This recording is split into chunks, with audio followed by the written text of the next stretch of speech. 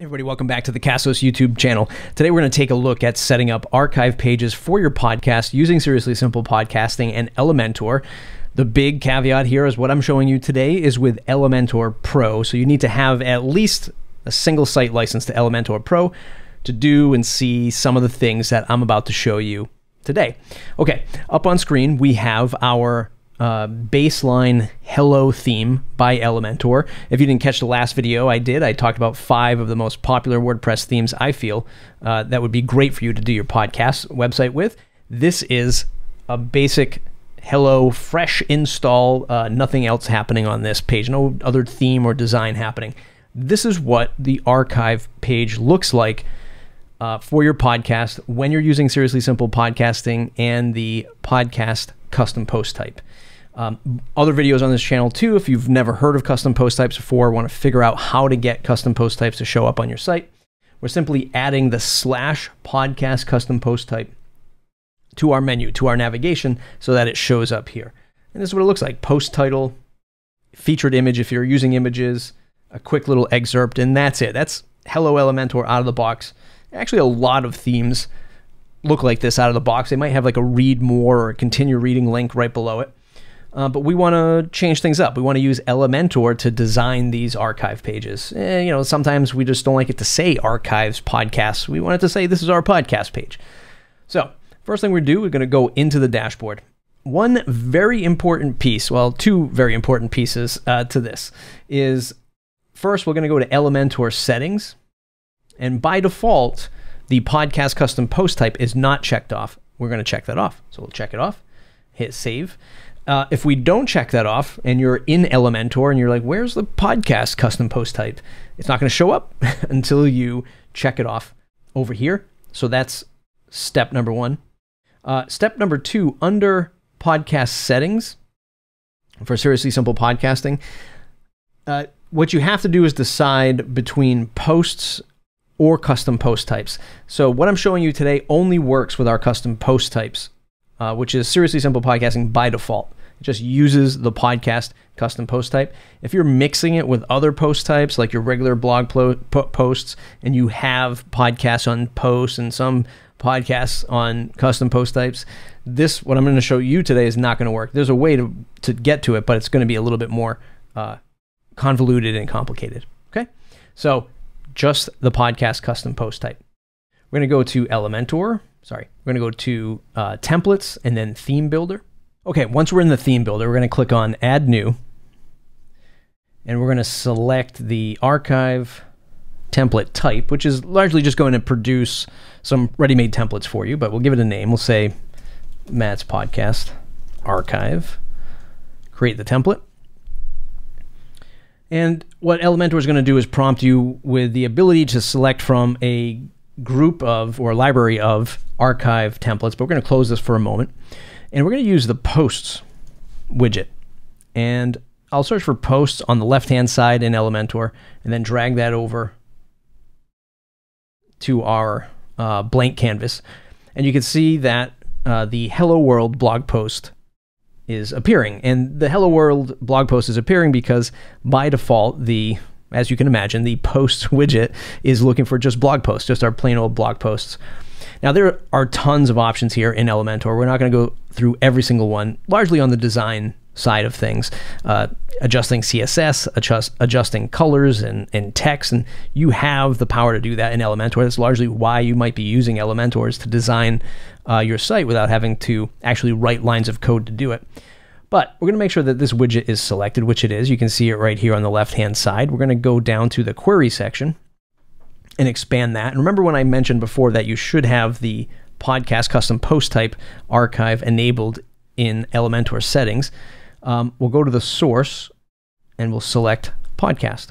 And that's going to pull in all of the podcast episodes that we have using our plugin, Seriously Simple Podcasting. You can see featured images, um, post titles, excerpts, all that stuff, the read more link, and you have the ability to adjust that uh, with the layout section. So you could switch this to a two column uh, layout if you wanted to.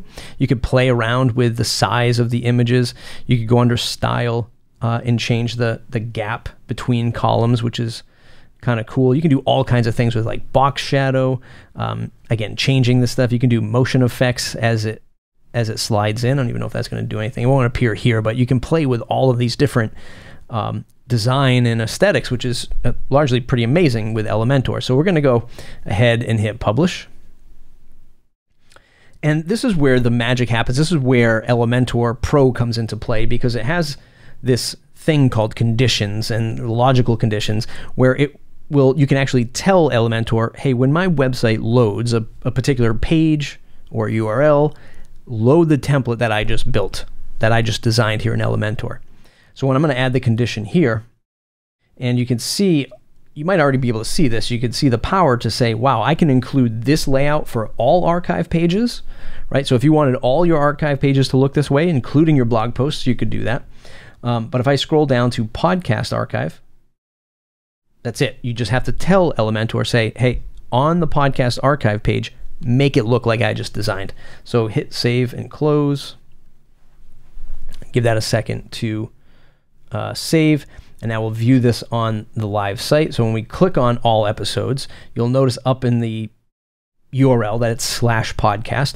Remember before it was just this straight list up and down, one column, sort of stacked information. Now we have our two columns and we designed that, so that's pretty cool. If we go back to Elementor,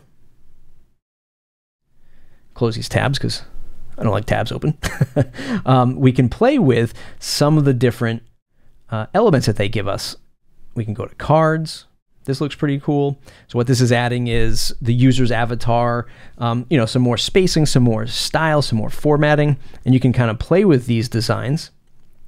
But really, some of the more powerful things that come out of uh, using Elementor is being able to choose from their pre-designed templates. So if this kind of layout doesn't work for you, you know, close this, get rid of it, go back into our library of um, templates.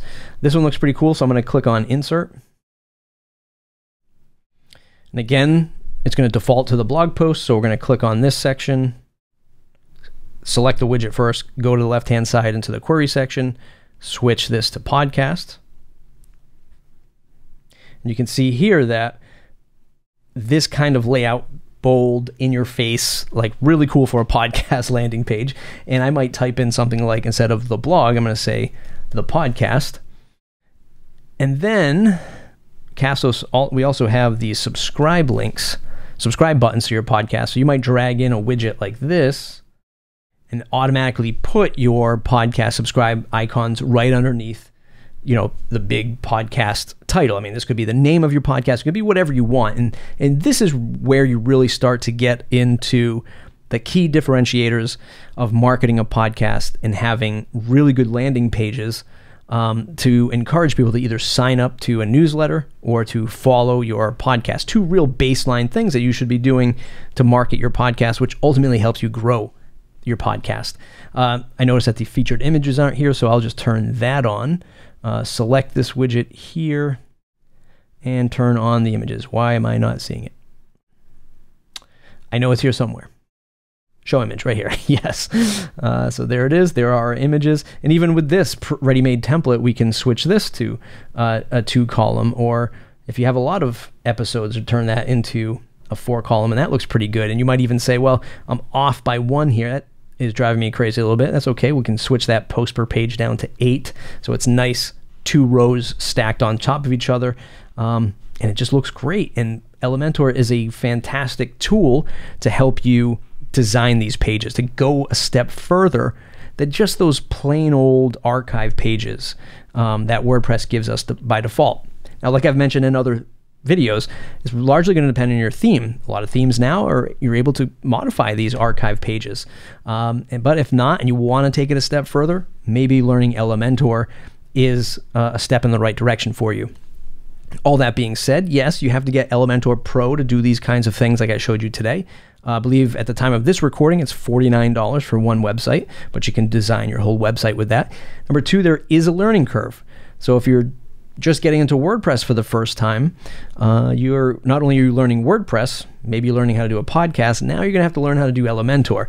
So if you're ready for the challenge, um, you'll I guess you'll be greatly rewarded at the end of of all of this stuff. But it's very powerful. There is a learning curve, but once you learn it, you can do some pretty amazing things like build these awesome podcast landing pages. Thumbs up if you like the video, subscribe to the channel if you want more. Have any questions, leave them in the comments below. Thanks for watching. We'll see you in the next video.